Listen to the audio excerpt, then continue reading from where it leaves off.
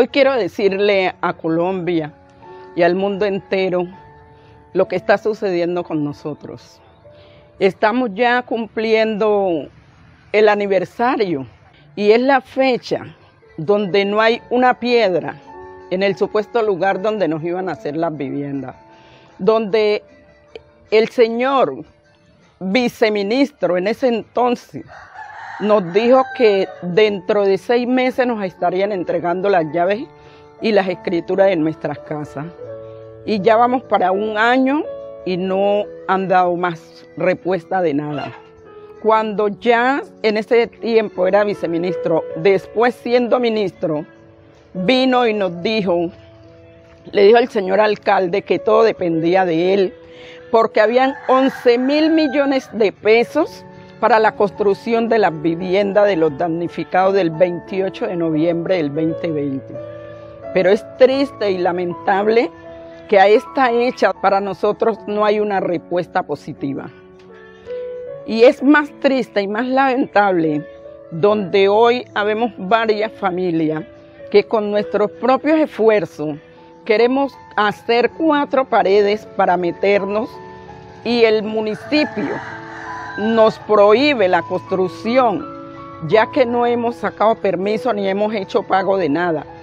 Más bien nosotros debíamos de ser exonerados porque estamos en una situación lamentable, donde estamos pasando trabajo, donde hay personas que estaban en arriendo y ya fueron sacadas de las casas por falta de pago. Apenas han hecho dos desembolsos de la plata de los arriendos. Y hay personas que todavía no han recibido el segundo desembolso. Lo más lamentable es que personas del municipio, empleados como concejales, estén construyendo en las calles.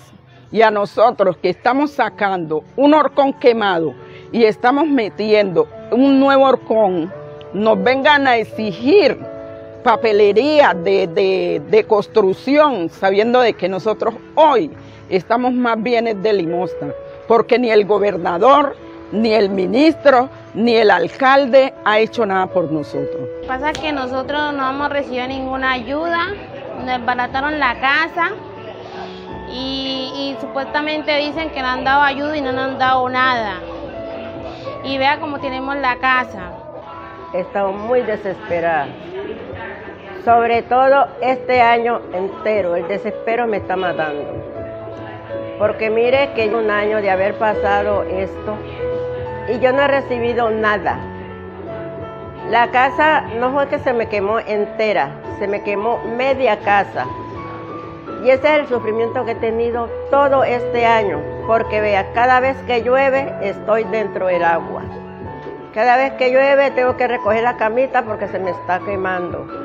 Ahorita, con el pequeño esfuerzo de mis hijos, me están medio emparapetando, no es terminando, no emparapetando, y es que me ha cesado un poquito de mojarme.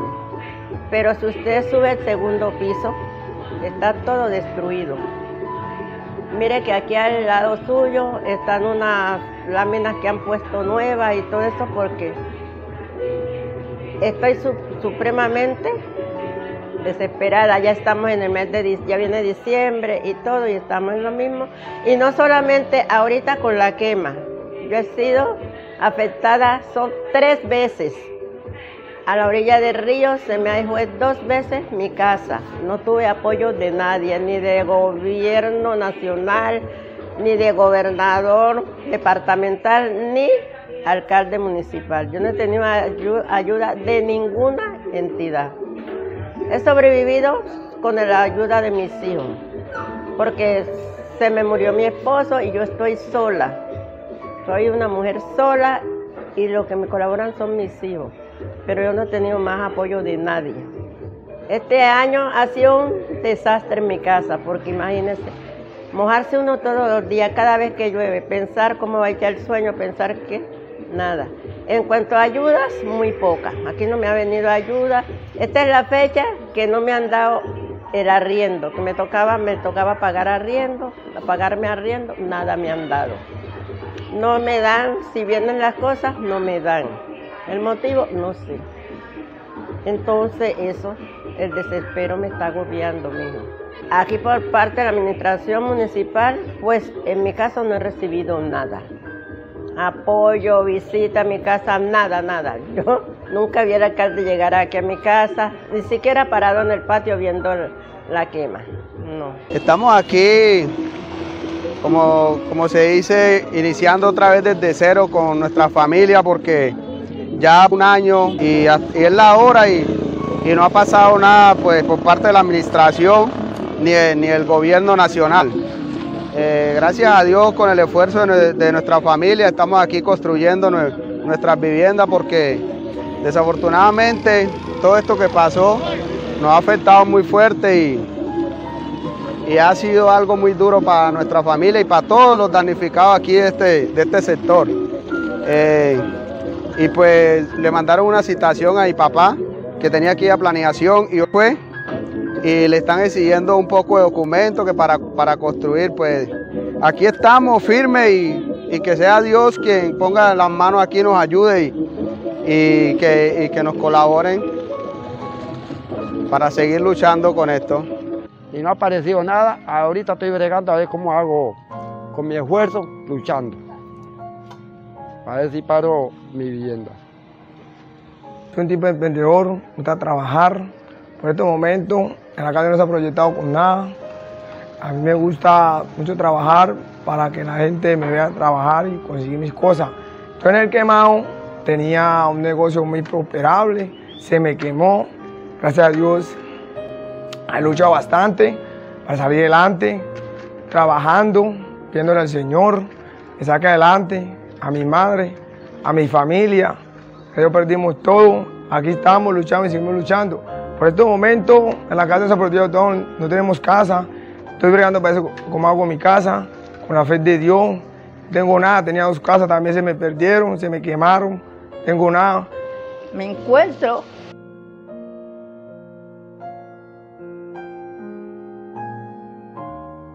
Mi nombre es Rosalicia Álvarez Becerra.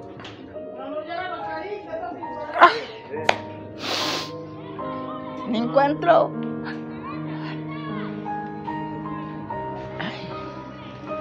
me encuentro sin nada de plata, sin nada, mi casa se me quemó, no me han ayudado estos días nada. Estoy por a ver si, si la hacemos, si la hago, mi casa, y estoy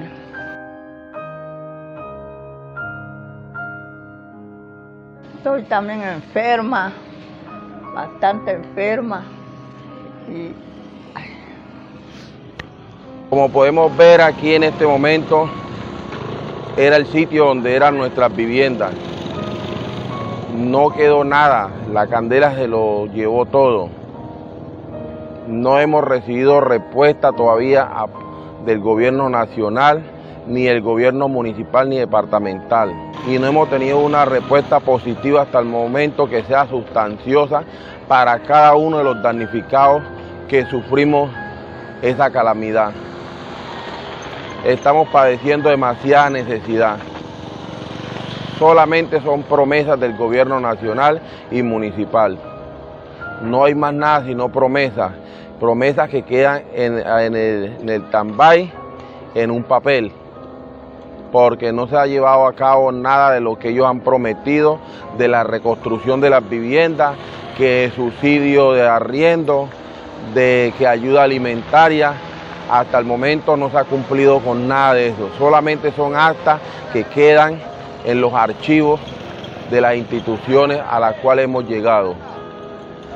En el momento, aquí es donde por lo menos yo soy uno de los que hemos tratado de construir su propio su propio rancho aquí con nuestro esfuerzo, hasta donde nuestras fuerzas nos han dado, recogiendo palitos por ahí de una u otras orillas o que algunos amigos de pronto nos han querido colaborar con un paquete de puntillas. Así sucesivamente hemos venido reconstruyendo los que hemos podido ya, porque hay muchos que de pronto quieren pero no han podido. Señor alcalde, pellizquese Usted no es el alcalde del grupo que lo eligió, usted es el alcalde del municipio de Río Sucio. Señor alcalde, usted está haciendo escuela, usted está haciendo los primeros pininos. Usted no es para que se quede como alcalde, usted es para que avance, usted es para que mañana sea congresista, para que mañana sea eh, un diputado, para que usted mañana sea una persona que avance. Entonces ayúdenos a avanzar, señor alcalde. Ayúdenos con las personas que tenemos sus hijos estudiando en la universidad en otros municipios donde nuestros hijos están pasando trabajo. Esta mesa está aquí, ya tengo tres meses de tenerla aquí iniciada y como no he tenido ayuda ni recursos, por eso no la he continuado y como estoy desempleado, que no tengo empleo, esa es la otra que nos acobija a nosotros porque la mayoría de nosotros aquí somos personas rebuscadoras, campesinos, que sobrevivimos de lo poco que hacemos en el campo, los rebuscamos por allí. No somos empleados. Y ya eh, estoy eh, pensando qué decir sobre lo que el gobierno nacional le ha incumplido a las víctimas del incendio del 28 de noviembre. Se cumple un año y ya no hay nada en este sitio sino unos horcones que la misma gente, los dueños de sus viviendas empezaron a reconstruir y el gobierno nacional no se pronuncia, el gobierno nacional, el departamental no se pronuncia respecto a eso, el gobierno municipal lo mismo, entonces sí estamos pendientes a que, a que haya una luz que haya un buen camino para que esta gente, estos damnificados del incendio del 28 de noviembre, puedan estar en una vivienda digna. Eh, no les han cumplido con los pagos de los arriendos, entonces eso, eso mortifica, eso, eso eh, a uno lo vuelve inmóvil, lo vuelve una persona que piense diferente. Entonces yo creo que aquí el pueblo tiene que pronunciarse, hombre, sobre este caso que está presentando ahí. El gobierno ha incumplido. Incumplió en San Andrés, está incumpliendo acá en el departamento del Chocó, concretamente aquí en Río Sucio. El gobierno dijo que en 15 días, en 15 días empezarían los trabajos de, de construcción de estas viviendas acá en el municipio de Río Sucio. Mira, el 28 de noviembre se presentó ese voraz incendio. Ahora la otra cosa, tampoco la Fiscalía General de la Nación, la Procuraduría han investigado qué pasó en este incendio, por qué se presentó este incendio. Entonces ni la Fiscalía ni la Procuraduría se han, pronunciado respecto a esto. Entonces sí es bueno de que estas IAS hagan al respecto algo que investiguen qué pasó con estas casas, cómo se produjo ese incendio, quiénes son los responsables de este incendio. Aparentemente uno mira las cosas como que si las ve bien, pero por dentro están carcomidas. Al gobierno nacional y municipal, el mensaje que les quiero decir, que si hoy en día, que, que piensen ellos, que piensen ellos bien, hoy en día, si esto que nos está sucediendo a nosotros, le sucediera a ellos, le estuviera sucediendo a ellos y que no tuvieran respuesta de la persona que realmente puede hacer algo y no tuvieran esa respuesta positiva. ¿Qué estuvieran pensando ellos en el momento? Ese es mi mensaje. Si fuera la mamá del gobernador o fuera la mamá del alcalde o del, presidente que le hubiera sucedido esto, ¿qué sería?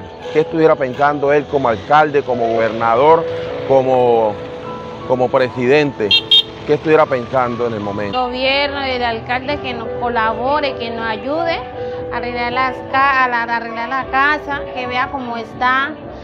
Y, imagínese, uno como pobre que va a conseguir. Que los ayude, que quedamos sin nada, que se metan la, que se metan la mano en el corazón, nos colaboren bastante. Un año de el siniestro el incendio acaecido el 28 de noviembre del año 2020. Hoy todavía nos embarga una tristeza por la pérdida de, dos personas allí en ese incendio. Pero hemos avanzado también en la búsqueda de la construcción de las viviendas. Esta administración municipal entregó a la unidad de gestión de riesgos todos los estudios y diseños aprobados por los damnificados de las viviendas que se piensan construir. También debo manifestar que a fecha de hoy ya el gobierno nacional adjudicó estos recursos a la Oficina de Gestión de Riesgos. Esta a su vez tiene los diseños, estudios y diseño. Estamos a postas de, de legalizar el terreno en la parte de arriba, previo a que los damnificados los terrenos anteriores pues ya los tienen, están construyendo, cada uno pues por su lado. Aspiramos que, que se construyan las viviendas, es el pedido que yo hago al gobierno nacional, que se construyan las viviendas lo más rápido posible, porque sé que es un clamor de los damnificados y, y más que, que dar comida, más que dar subsidio que se agradece, pero, pero en última las personas quieren tener su casa digna, su vivienda digna, porque realmente se la merecen. Un llamado desde estos micrófonos al gobierno nacional que ya después de llegar a un año podamos tener al menos la, iniciada de esta importante obra como son las 82 viviendas de los damnificados del 28 de noviembre.